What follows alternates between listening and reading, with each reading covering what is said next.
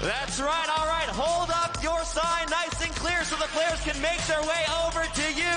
That's right, Jets fans. Hold your number up. The players will find you.